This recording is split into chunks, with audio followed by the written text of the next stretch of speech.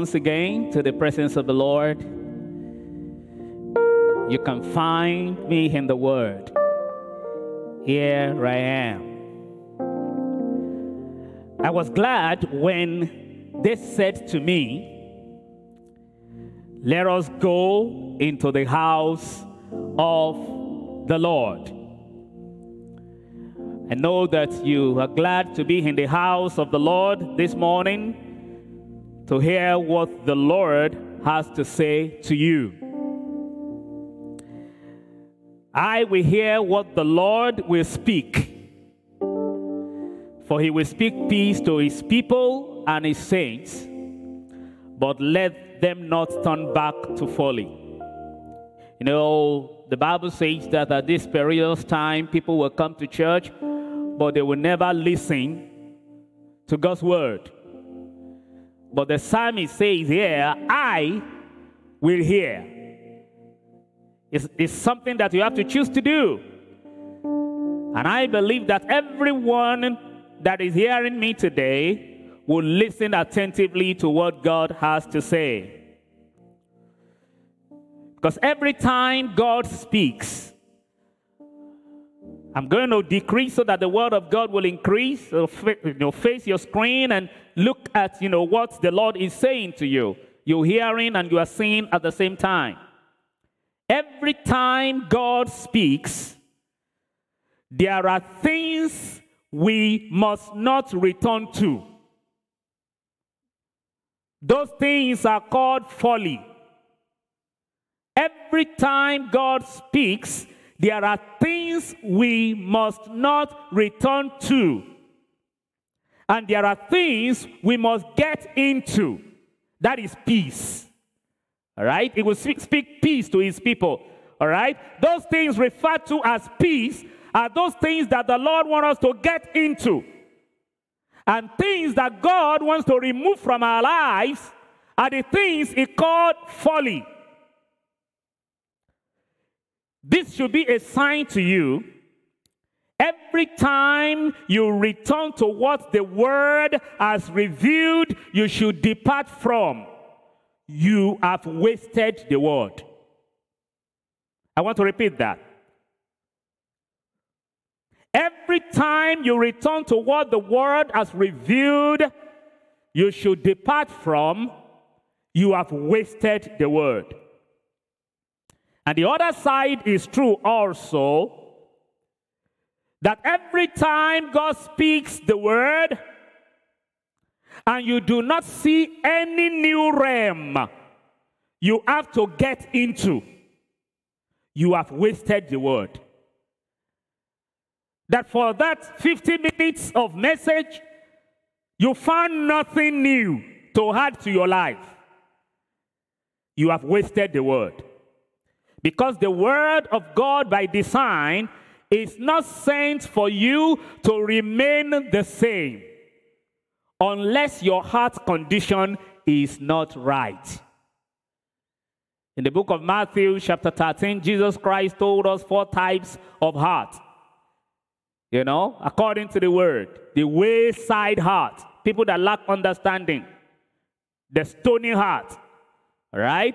The thorny heart, you know, the word falls among other things that you are thinking about, and it shocks the word.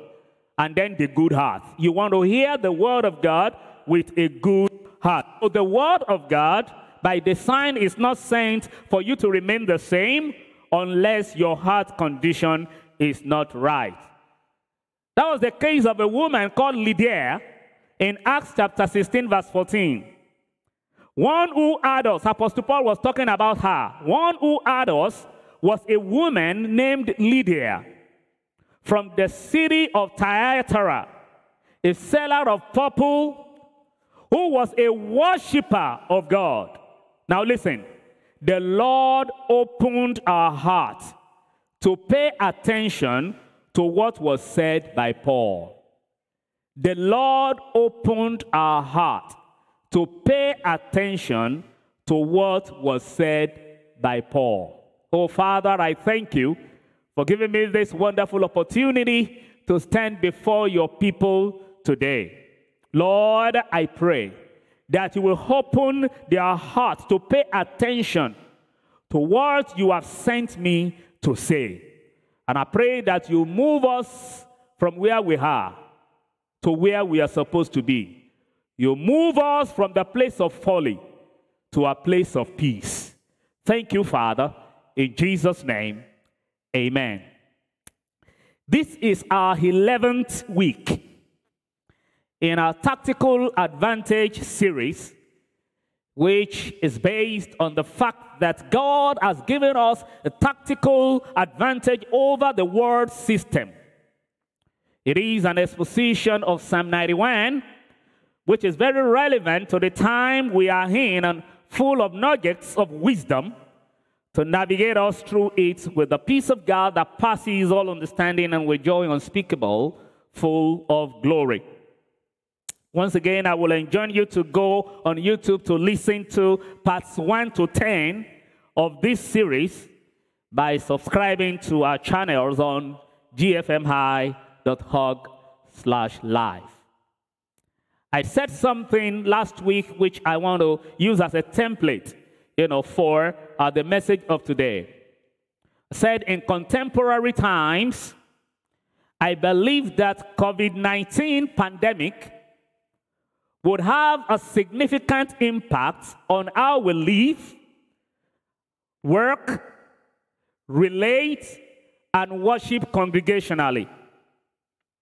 The post-COVID world would be significantly different from the pre-COVID world for those that can discern accurately. Those who refuse to make the necessary shifts would pay significantly for it. Things will never remain the same with us, and we must be ready to make the necessary shifts. I believe that pre COVID, the church derailed from the covenant pathway because I believe there was an amalgamation of the world views and God's view. We, we went into syncretism. Well, through this season, God creates the opportunity to go back to the Bible and make things right as individuals and as a corporate body. And as a watchman in the body of Christ, I must sound an alarm to sensitize us to these prophetic realities, point us to areas of extremities, and remind us of God's views to heal our backsliding. Like I've always said, go back to the Bible. It's not a cliche, but the solution to the problems confronting the 21st century church. There is a problem that I want to talk to us about that we have to correct. It happened pre COVID, but we have to correct the problem post COVID. And that is the juvenilization of the church. The juvenilization of the church.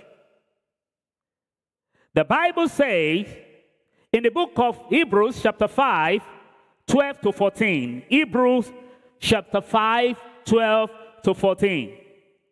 It said, For though by this time you ought to be teachers, you need someone to teach you again the first principles of the oracles of God.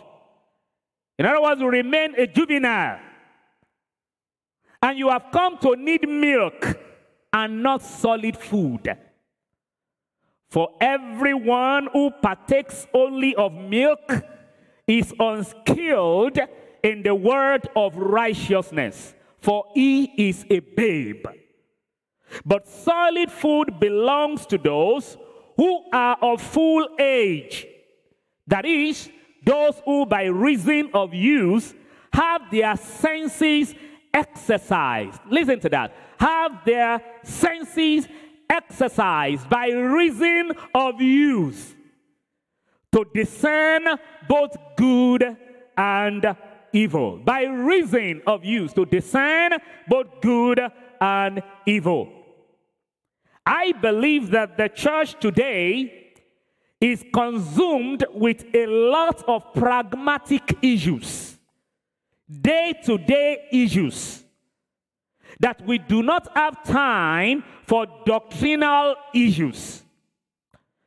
And it is our ignorance of doctrinal issues that make the church unstable, unsound, and uncoordinated. I want to repeat that.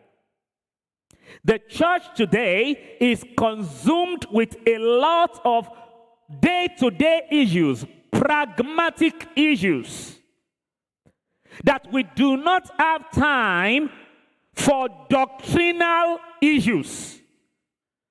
And it is our ignorance of doctrinal issues that make the church unstable unsound, and uncoordinated. In 2 Timothy chapter 4, 3 to 4, 2 Timothy 4, 3 to 4. For the time will come when people will not put up with, will not endure sound doctrine.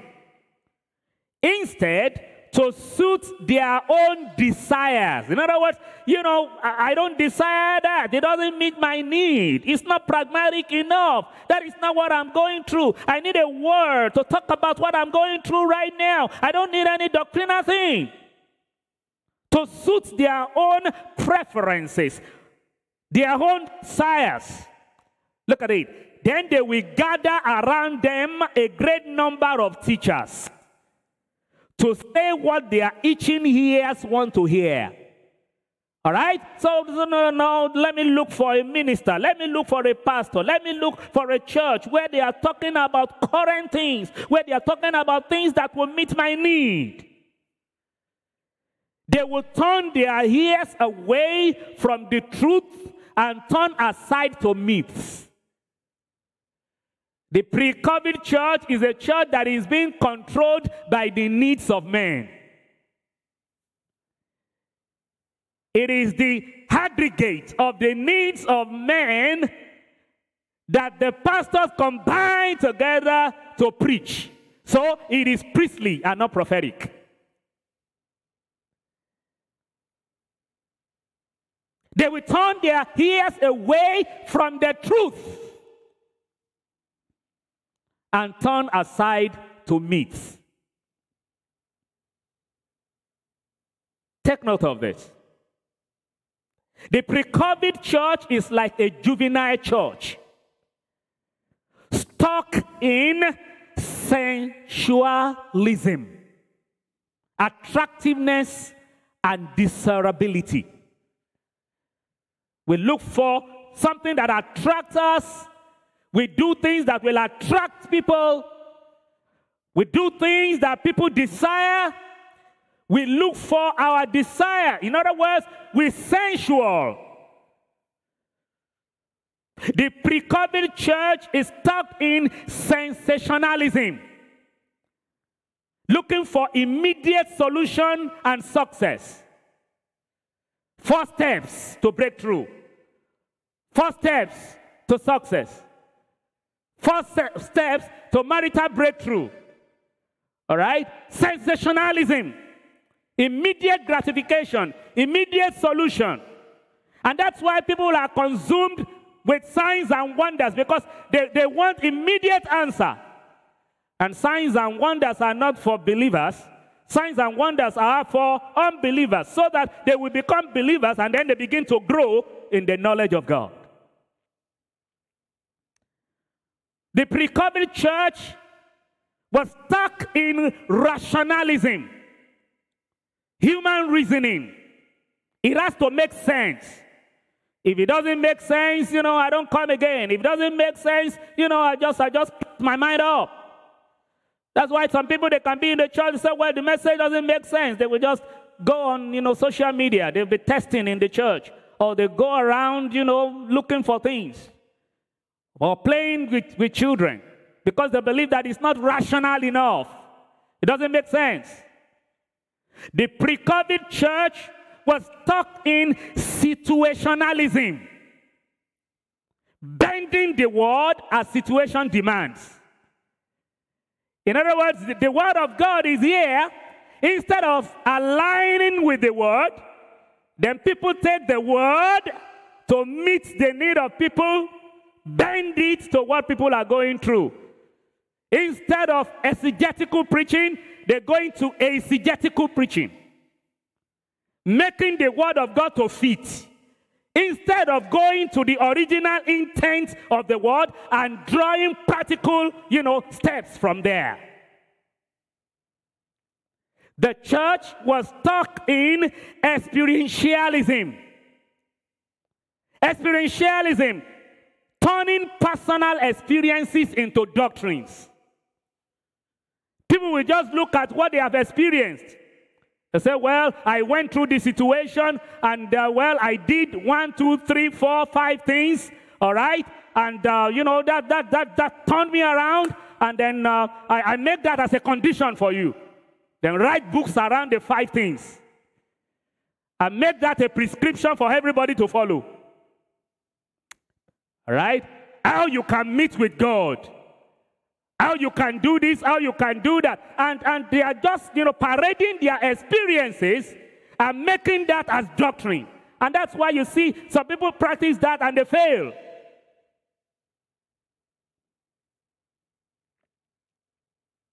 And because the church is stuck in all these isms, we cannot readily access the now word. The now word, what God is saying to the church.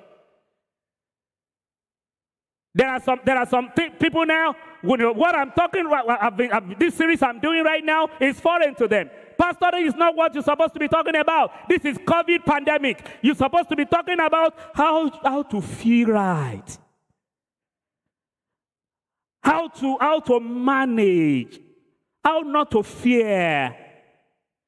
And so God knew about COVID before COVID existed.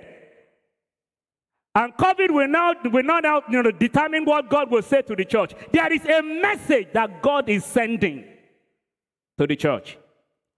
But the people cannot, you know, access the now word because the church is now being run by the desires of men, by the issues of men.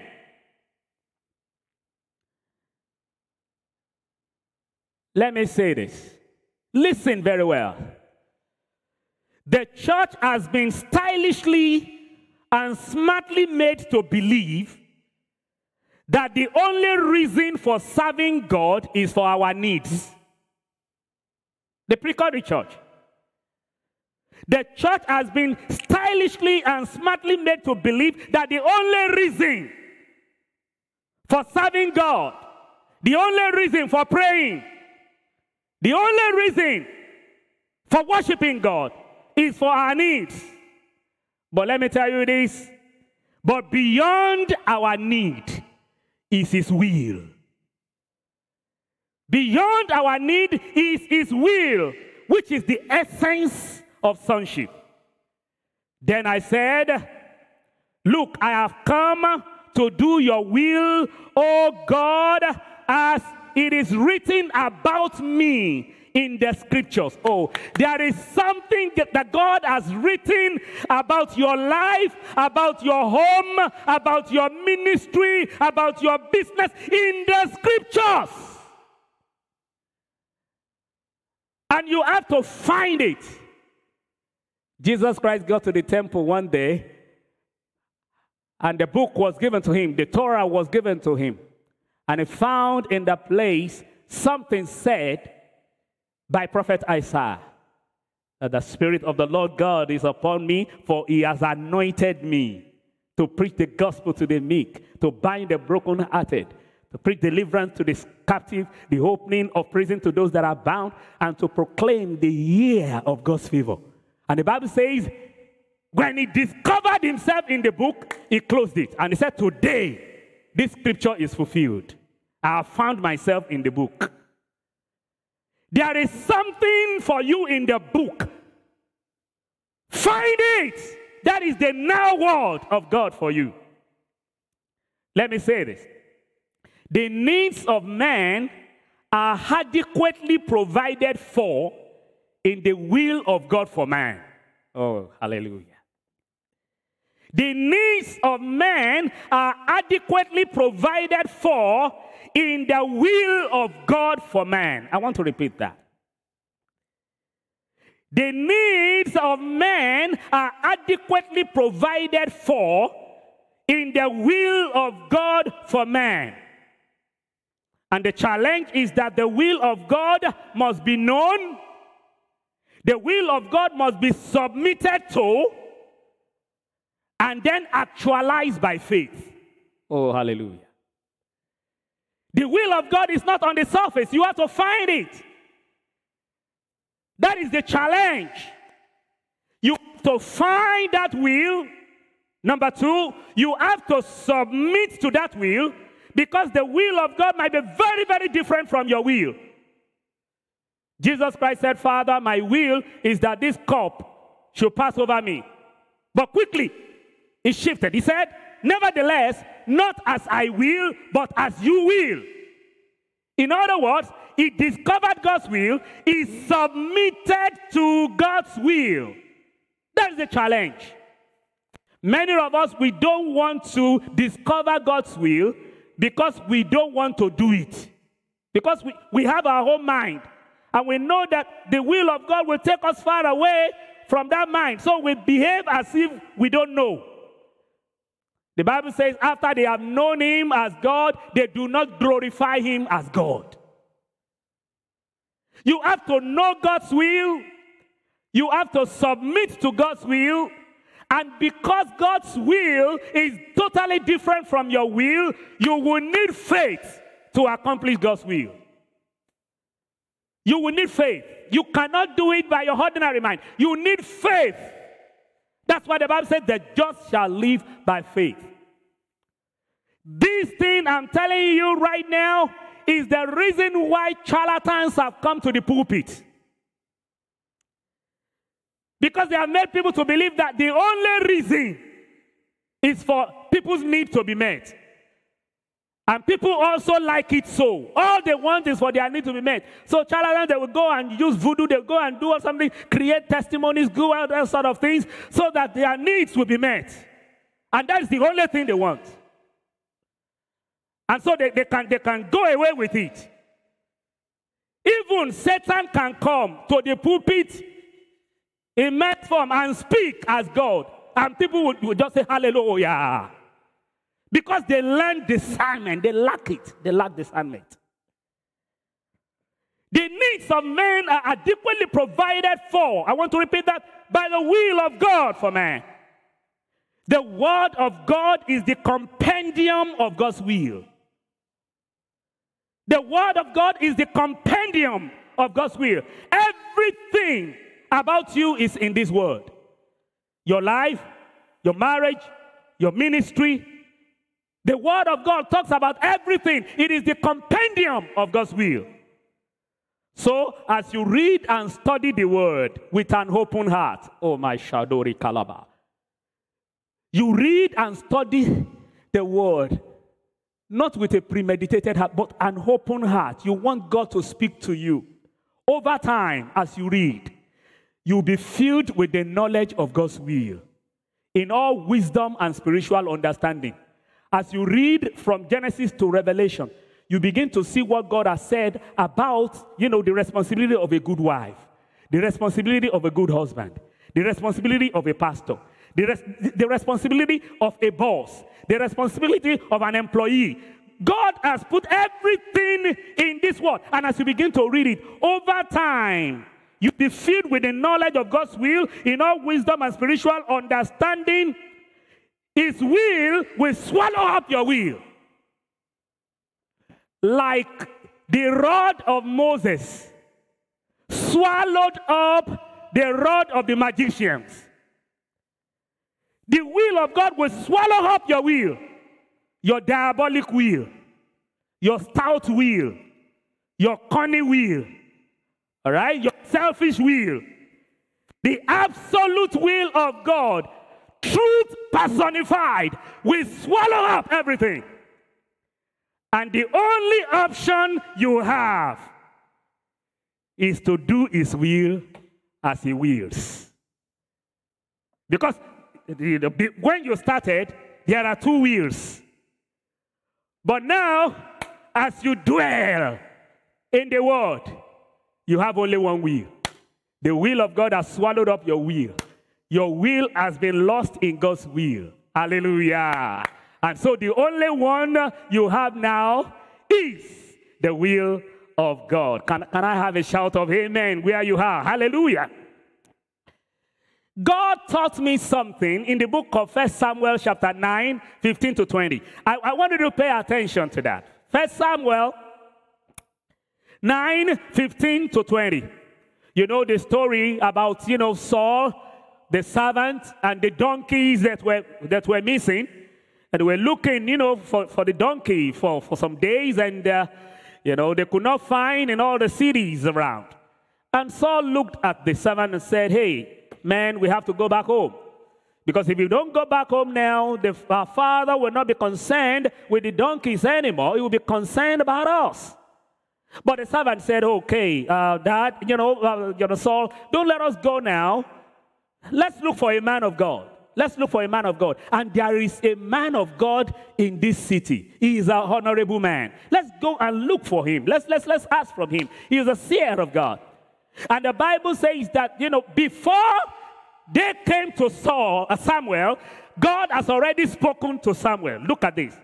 Now the Lord had told Samuel in the ear the day before Saul came, saying, Tomorrow about this time, listen, I will send you a man from the land of Benjamin, and you shall anoint him commander over my people Israel, that he may save my people from the hand of the Philistines, for I have looked upon my people, because their cry has come to me. Saul was looking for a lost donkey God has a program, an agenda of emancipation for his people. Problem, donkey, purpose, deliverer. So when Samuel saw Saul, the Lord said to him, There he is, the man of whom I spoke to you. This one shall reign over my people. Then Saul drew near to Samuel in the gate and said, Please tell me, where is the seer's house? Samuel answered Saul and said, I am the seer. Go up before me to the high place, for you shall eat with me today. And tomorrow I will let you go and will tell you all that is in your heart.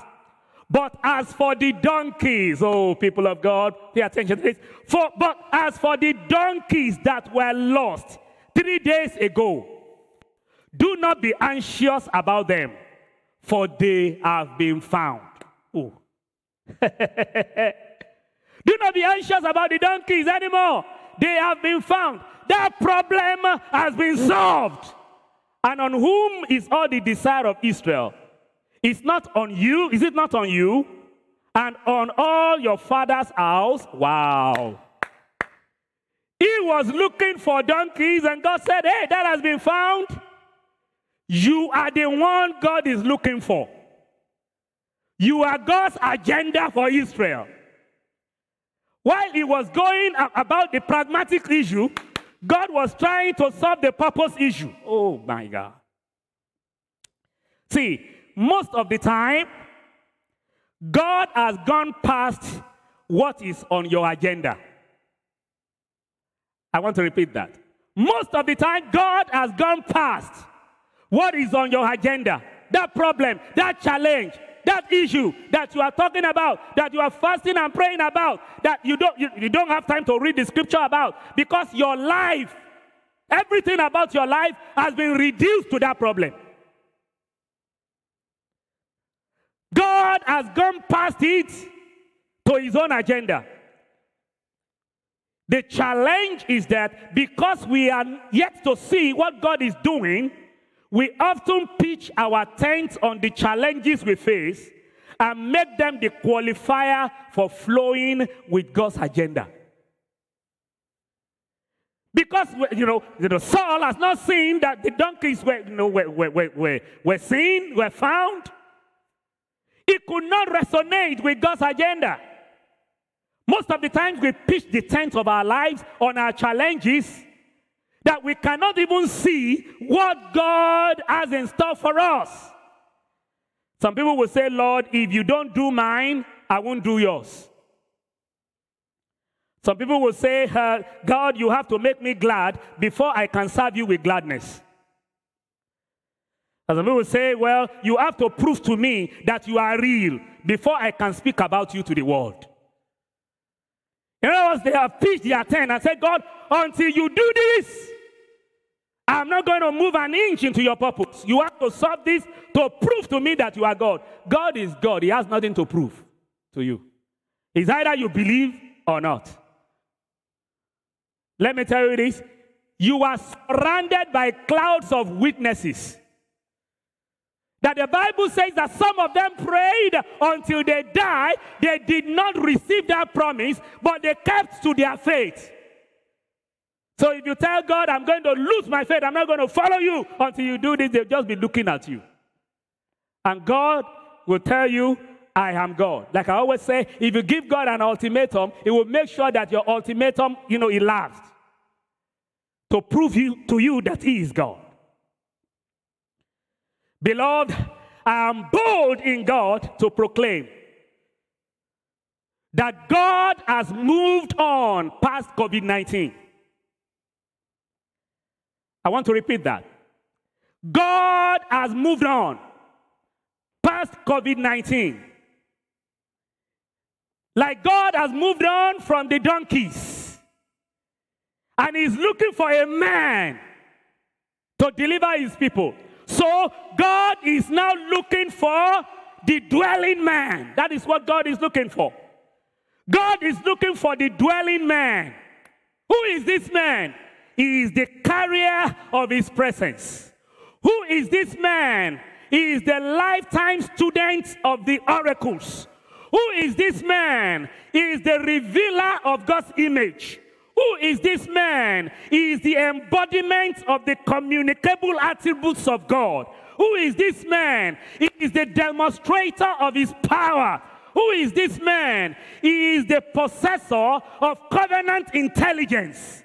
Who is this man? He is the fulfiller of God's mandate to be fruitful, to replenish, to multiply, to subdue, and to have dominion. For only a dwelling man can be a fruitful man. That is the man God is looking for. The possessor of covenant intelligence. You know, there are some people, they are very intelligent in wickedness. They are very intelligent in wickedness. Very intelligent in wickedness. Sometimes you look at something and, say, you, and you call yourself a Christian, and you can scream this against your husband, and you can scream this against your wife, and you can scream this you know, against your parents.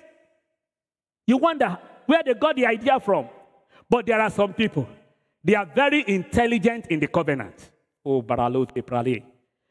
Like the children of Issachar, they can pick divine signal, they can decode divine code. Like Daniel was able to do. The dwelling man, the, the king had a problem, and Daniel went to the presence of the Lord. And he told the king, he said, There is a God in heaven what your astrologers and magicians cannot do. There is a God in heaven who reveals secrets to the dwelling man. the secret place is the place where the dwelling man got the revelation of things to come. And those are the men that God is looking for. So you must discern when God has moved past your agenda. This is a message you must not toy with. You must discern. Because many of us, we just pray, you know, uh, from 40 days, you go to 100 days, you go, and God said, uh, you know, I've moved past this. You must discern when God has moved past your agenda into his own agenda and make the switch in a heartbeat. Secure your request with thanksgiving. Oh, leader. Secure your request with thanksgiving. After you have prayed and you have, you have, you have decreed in his presence, say, Father, I thank you. All right? Because this matter is solved. All right? These donkeys are found. All right? You know, I got my job already. All right, I got my husband already. I got my wife already. Lord, I thank you. I give you all the glory. You secure, you know, your request with thanksgiving. Not only that, you secure your request with radical conviction. You secure it with radical because the enemy will want to try you. Say, well, you have been praying. You said you have prayed, you have fasted, and nothing has happened. Say, devil, shut up your mouth. Just, just like, just like you know, uh, uh, uh, Meshach, Shadrach, and Abednego did to King Nebuchadnezzar. King Nebuchadnezzar was harassing them. He said, "Hey, I'm going to throw you into the fiery furnace if you don't bow down."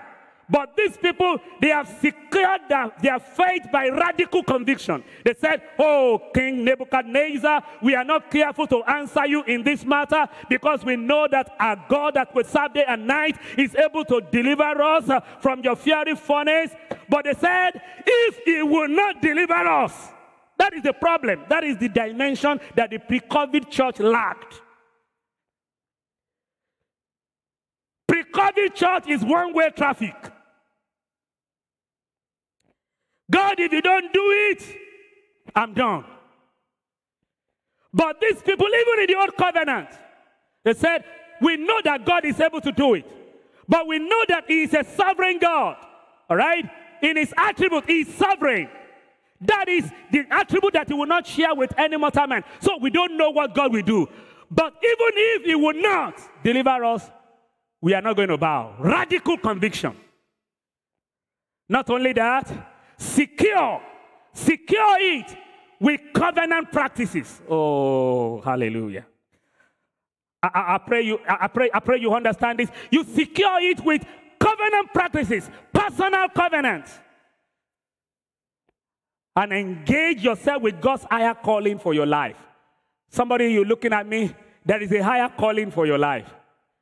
Just like Saul was battling with donkeys, there was a higher calling for his life to be the king over Israel, God's people, to give them deliverance. God said, I have heard their cry. He was running after donkeys, looking for donkeys, but God said, Hey, you are a deliverer. I have a higher assignment for you. Forget about that. That has been solved. Okay? Move into my agenda for you. I call this total abnegation and abandonment to God's sovereignty total abnegation and abandonment to God's sovereignty and say, God, I abandon my life in your hand, and I know you cannot waste my life. I abandon my future into your hand. Lord, I know you cannot waste my life. Even if you tell me to pack up everything and follow after you, I will do. I know you cannot waste my life. In fact, Fanny Crosby, the prolific American hymn writer, got it right in the second stanza of uh, our famous song, I am Thine, O Lord. He said, Consecrate me now to thy service, Lord. By the power of grace divine, let my soul look up with a steadfast hope, and my will be lost in thine. Say, Lord, let my will be lost in thine. Oh, let that be your covenant mindset today. That, Lord, let my will be lost in thine.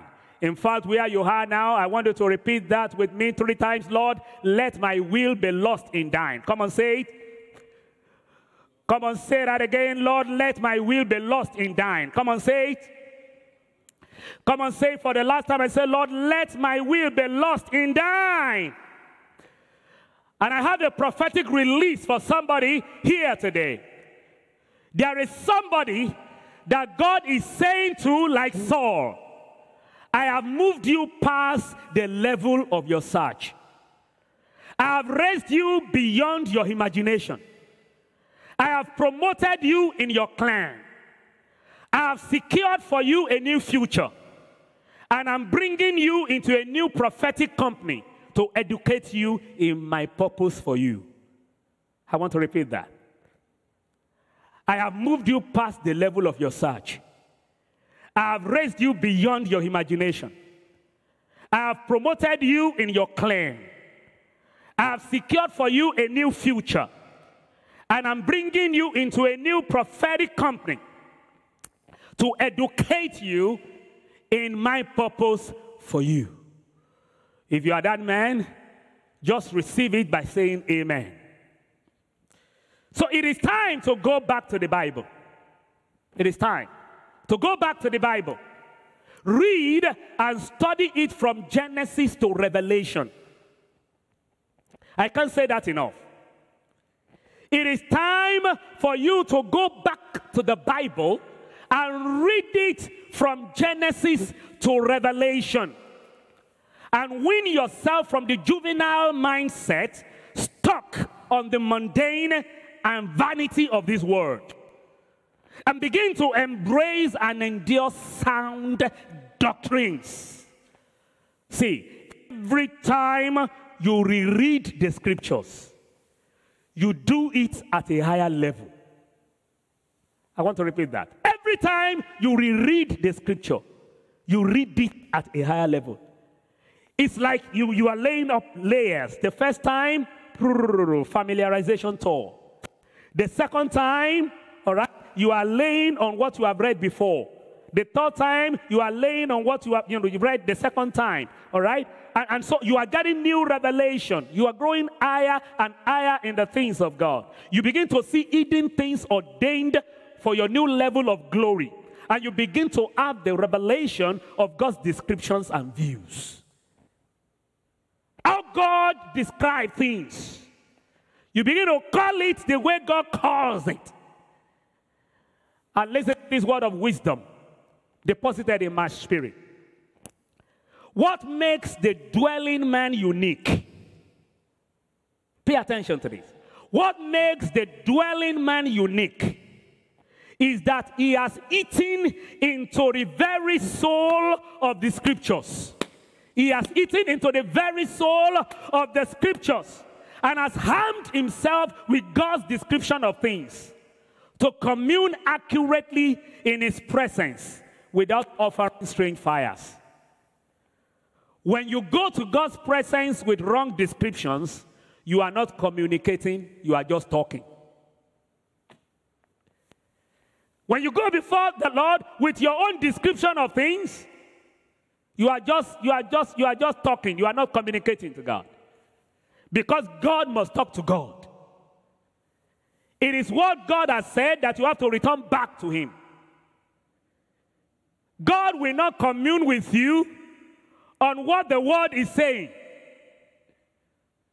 God's communion with you is based on what he has said in his word. Oh, I want to repeat that. You cannot go before the presence of the Lord and be arguing philosophy of man. God will not even pay attention to you. You have to harm yourself with what God has said in his word, and he will commune with you in the secret place of thunder. We talked about God's description of himself, God's description of his word, God's description of man. I talked about that last week, and I want to end this message that way.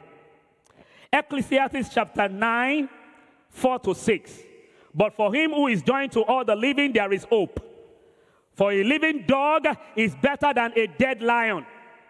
For the living know that they will die, but the dead know nothing, and they have no more reward, for the memory of them is forgotten. Also, their love, their hatred, and their envy have now perished. Nevermore will they have a share in anything done under the sun. For the living know that they will die. No matter what you do, you will die one day. And when you die, your love, your hatred, your envy will perish with you. And that's why in Mark 11 25 to 26, The word of God says, and whenever you stand praying, if you have anything against anyone, forgive him. For your Father in heaven will forgive you if you forgive men their trespasses. But if you don't do it, neither will your heavenly Father forgive you your own trespasses. And I said this golden statement last week that those who refuse to forgive those who have offended them live on dangerous ground, taking a great risk on their eternal state. What if you die suddenly? Or the person you refuse to forgive dies with no opportunity for reconciliation. Your breath is in your nostril. You are at the mercy of your last breath. and that could happen any moment. So take note of this apostolic warning. I have three for you. Pay attention to your screen. Number one, since you don't know when that day will come, avoid venting your anger frequently for a lengthy period. It is unbiblical, it is unethical, and unhealthy. All right? It's like it's like nurturing poison or toxin in your body. Carrying waste in your body without passing it out. It is toxic, it is unhealthy. All right? Somebody has offended you. Three hours, 24 hours, seven days, one year, two years, three years. You're just going to fall down and die one day. Because it is unbiblical, unethical, and unhealthy. The Bible says that do not let the sun go down while you are still angry. That means it, should not survive a day. That's what the Word of God is saying. Your anger should not survive a day. He said, Be angry, but do not sin. The Lord gave me this revelation in Psalm 30, verse 5. Psalm 30, verse 5. He said, For his anger is but for a moment, his favor is for a lifetime. Weeping may endure for a night, but a shout of joy comes in the morning. And the Lord told me that the anger of a dwelling man, the man that feeds on God's word, lasts only for a moment.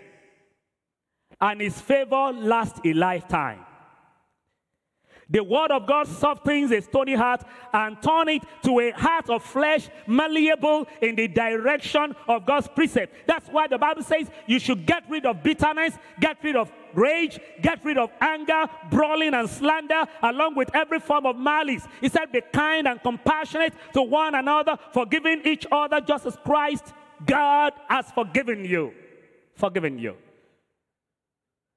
You want to follow what the Word of God says. You know, there are some people, their anger is for a lifetime, but their favor is for a moment.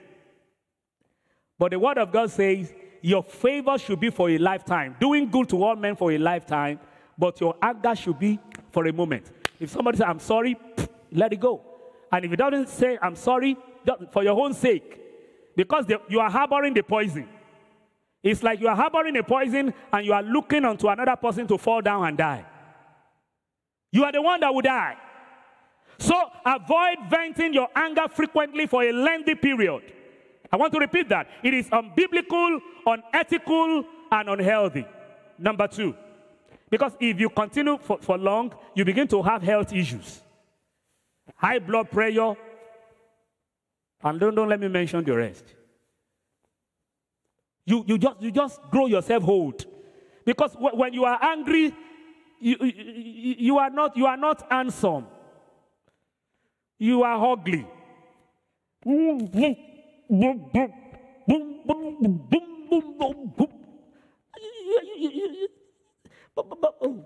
Number two, avoid refusal to change your relationship with trespassing believers despite their repentance and change of heart towards God. Yes, they have sinned against you. And they have said, Well, I've, you know, I've confessed to God, He has forgiven me, all right? And I've said, Sorry, I'm sorry to you. Let it go. Change your attitude.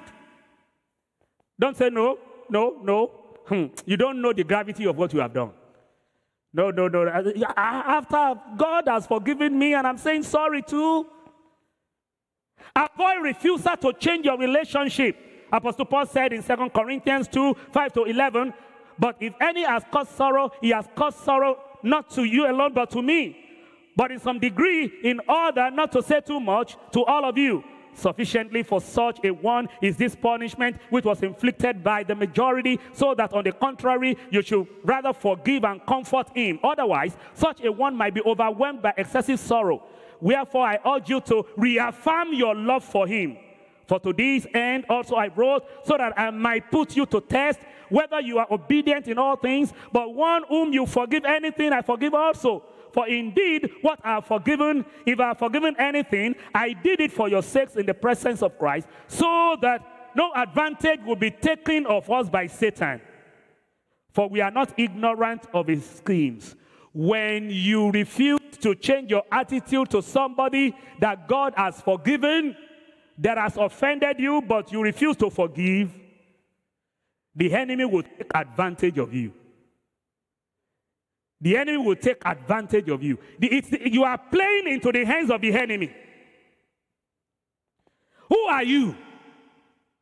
Your breath is in your nostril. And God, who is the Almighty, said, I have forgiven. He said, That sin, I will never bring it into remembrance. But you, the sin is, is ever written in your mind. Release people. You need the grace of Joseph. Look at what his brothers did to him. He was put, you know, they lied against him. He was put into the pit, all right? They sold him. They put him in prison. Look at all they did. But in Genesis 15, 19 to 21, Joseph said to them, Do not be afraid. I pray that somebody will get the revelation of this. He said, Do not be afraid. For am I in the place of God?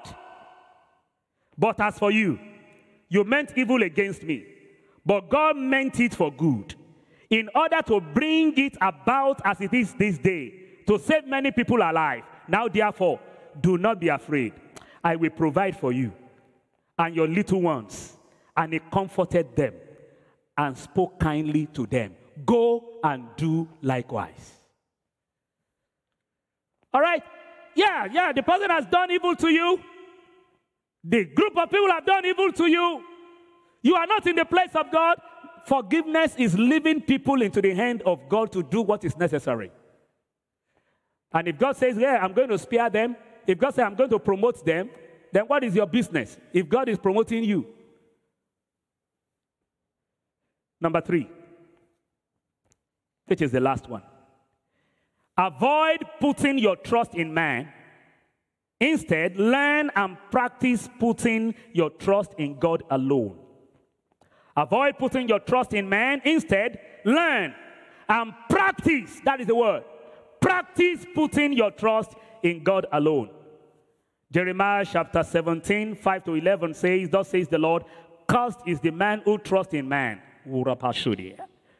Cursed is the man who trusts in man and makes flesh his strength, whose heart departs from the Lord. In other words, when you put your trust in man, your heart will begin to depart from the Lord. You cannot put your trust in man and be, you know, in God's camp at the same time. For he shall be like a shrub in the desert, and shall not see when good comes, but shall inhabit the parched places in the wilderness. You begin to get less than God's best in a salt land which is not inhabited.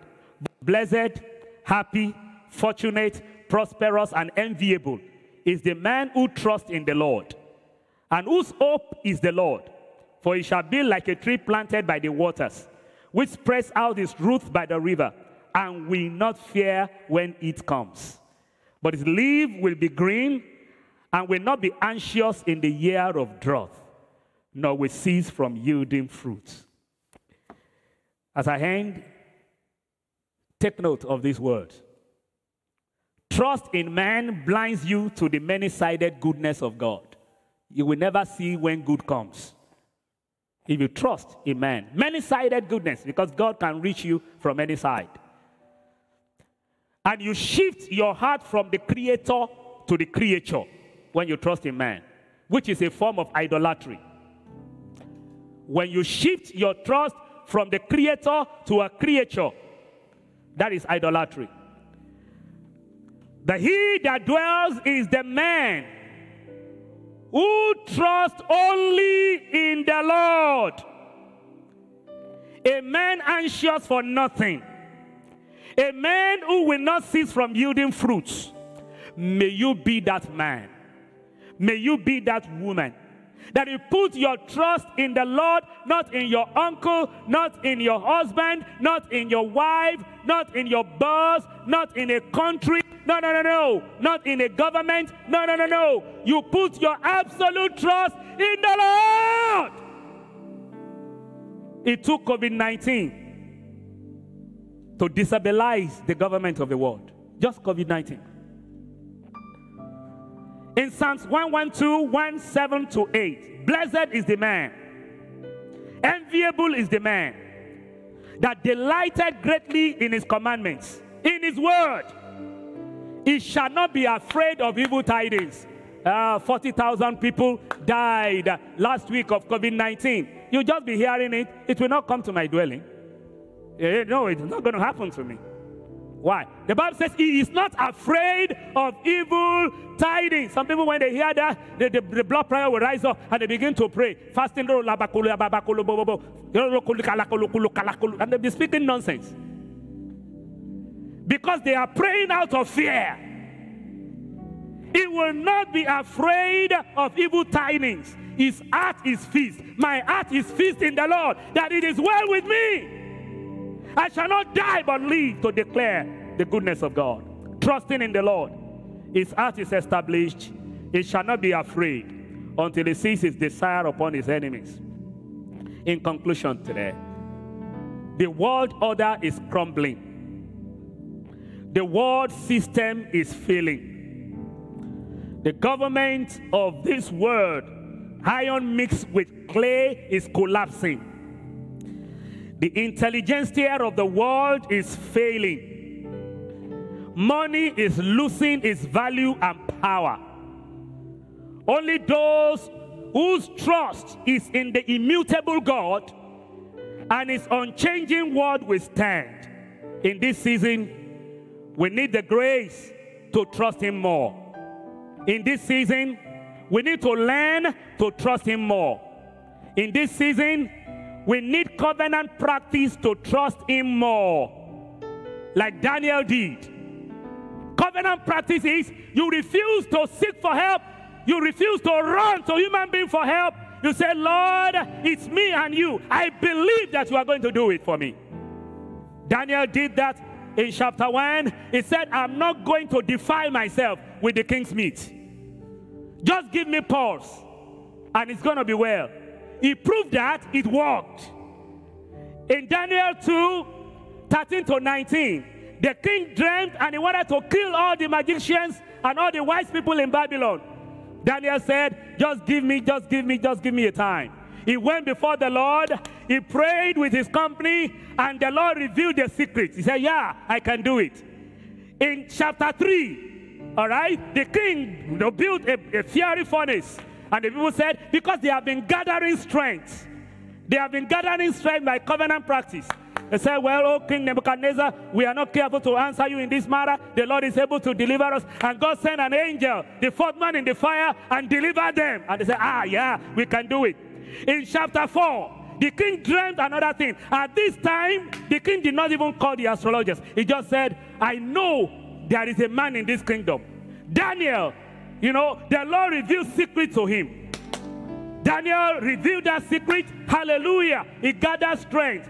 In chapter 5, Belshazzar dreamed, and God wrote something on the wall because he has gathered, you know, strength by covenant practice.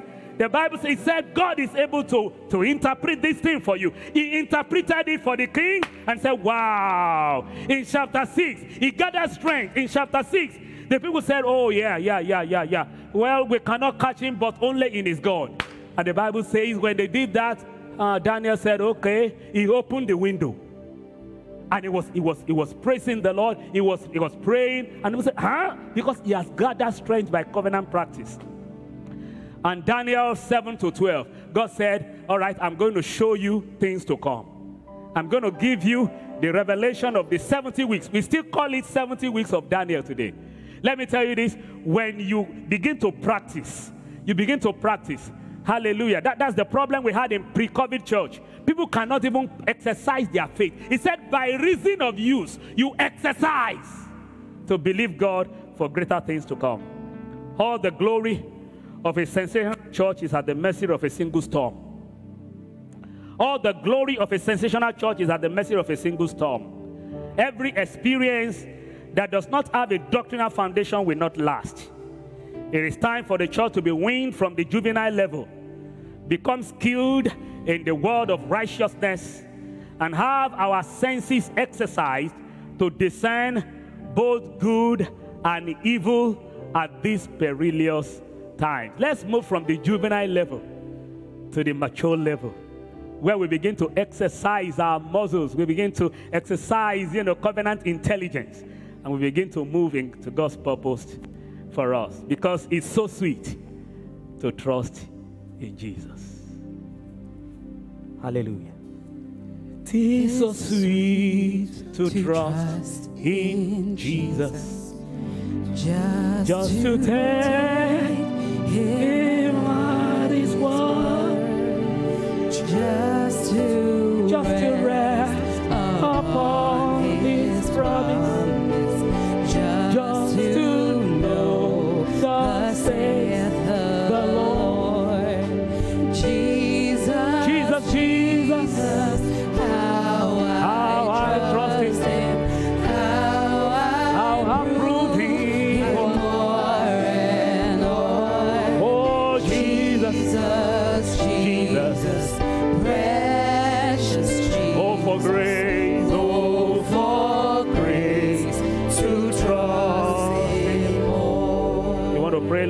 help me to make the right adjustment when you speak to me.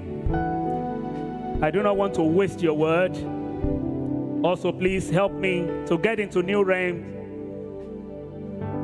through your word that you have sent to me to bring me peace. You want to say, Lord, I declare that is the last prayer. I have 15 prayers here. You will get those prayer points. The last one, Lord, in your name, I declare that I am a dwelling man. In fact, wherever you are, say after me, I am a dwelling man. Say, I have life. Say, I have rest. Say, I have joy. Say, I have peace. Come on, repeat that. I declare that I am a dwelling man. So I have life. I have rest. I have joy. I have peace in the name of Jesus. Oh, Father, we thank you. We give you praise for your word that has come to us, oh God.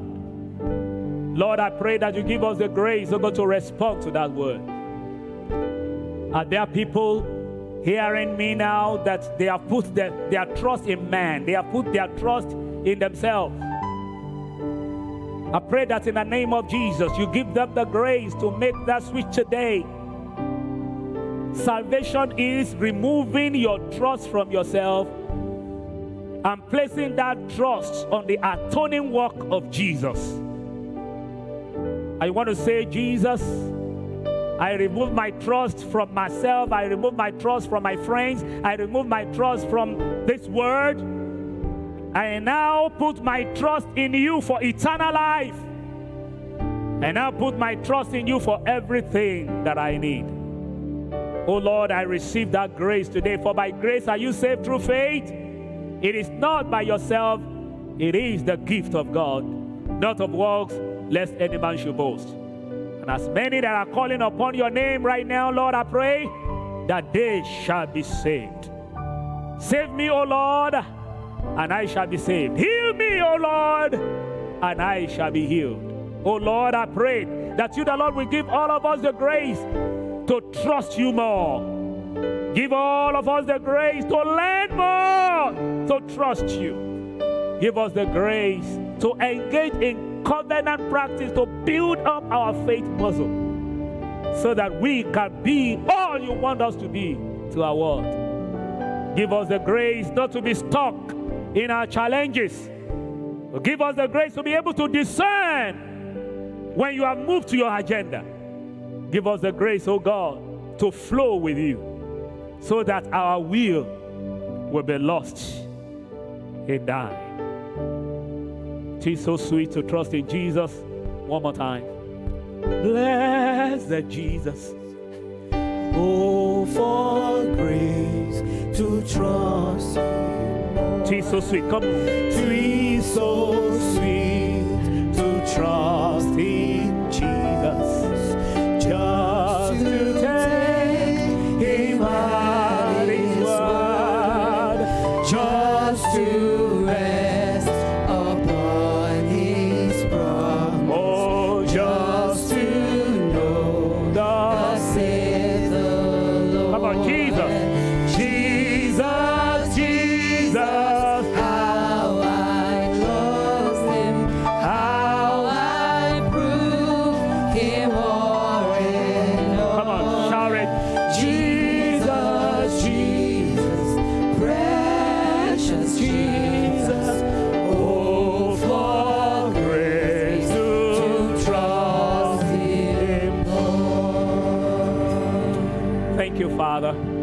We will trust you more and more. In Jesus' name, amen and amen and amen. Thank you. God bless you.